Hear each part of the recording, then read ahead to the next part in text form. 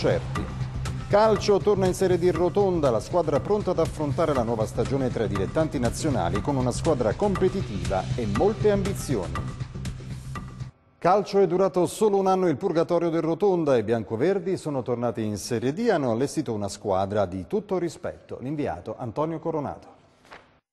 La retrocessione di anni fa ancora è un ricordo che sembra davanti agli occhi e nella mente, quindi quest'anno non, non c'è proprio una minima idea di, di di pensare solo alla salvezza. Il Rotonda è tornato in Serie D per restarci. La beffa della retrocessione è stata archiviata solo un anno dopo con la promozione, una macchina perfetta che ha affiancato il lavello in testa al torneo di eccellenza. Per questo l'ossatura della squadra, Polizzi in porta, Sansone in difesa e Boscaglia a centrocampo non è stata smantellata, ma rinforzata con innesti di valore. Diop, Tuninetti, Ruggiero, Actis Goretta, Sposato, Cassete e Bonfini sono alcuni degli acquisti che renderanno più feroci i lupi lupi del Pollino. La società ha allestito una squadra non per una semplice salvezza, ma se guardiamo i nomi di ogni giocatore che è presente qui, credo che possiamo puntare a qualcosina in più. Nel calcio però purtroppo 2 più 2 sappiamo tutti che non va 4, ma questa rosa è una rosa che a nostro avviso dovrà andare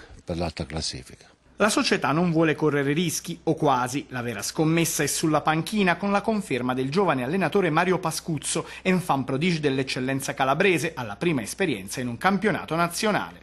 Io spero che giocheremo a un ritmo alto, che riusciremo ad imporre il nostro gioco, la mentalità deve essere sempre propositiva e, di cercare sempre il risultato pieno. Bel gioco e tanto coraggio per seguire questa rotta, la squadra ha mollato gli ormeggi in largo anticipo. I biancoverdi sono alla seconda settimana di preparazione. Impossibile fare pronostici, anche perché non si conoscono ancora gironi e avversari, ma una cosa è certa, il Rotonda, ritrovata la Serie D, non intende più mollarla.